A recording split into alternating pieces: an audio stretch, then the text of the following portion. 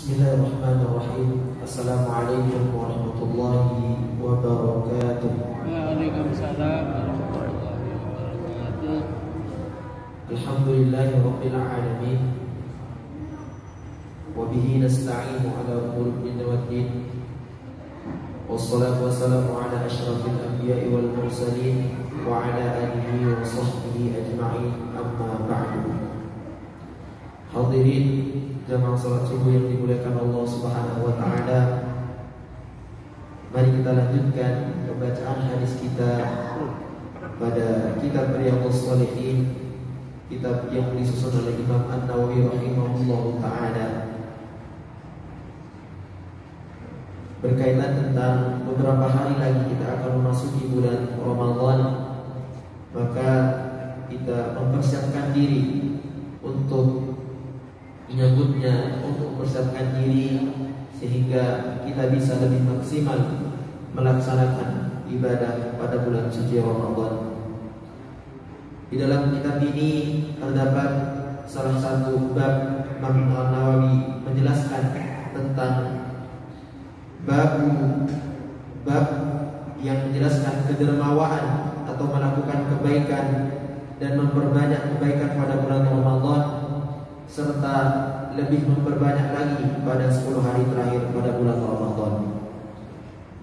Wa an Ibnu Abbas radhiyallahu anhu qala kana Rasulullah sallallahu alaihi wasallam ajwada nasi wa kana ajwada ma yakunu fi Ramadan hina yalqahu Jibril wa kana Jibril yalqahu fi kulli lailatin min Ramadan fayudarisuhu al-Quran. Fala Rasulullah sallallahu alaihi wasallam hina yalqahu Jibril ajwadu bil khairi min rihi mursalati. Muttafaqun yang artinya dari Ibnu Abbas semoga Allah Subhanahu wa taala meridainya dan bapaknya. Rasulullah sallallahu alaihi wasallam bersabda Rasulullah sallallahu alaihi wasallam adalah orang yang paling dermawan dan beliau lebih dermawan lagi pada bulan Ramadan ketika ia sering ditemui Jibril. Jibril menemuinya setiap malam Ramadan untuk menadaruskan Al-Quran. Maka sungguh Rasulullah Shallallahu Alaihi Wasallam ketika sering ditemui Jibril benar-benar lebih dermawan dengan kebaikan daripada angin yang berhembus.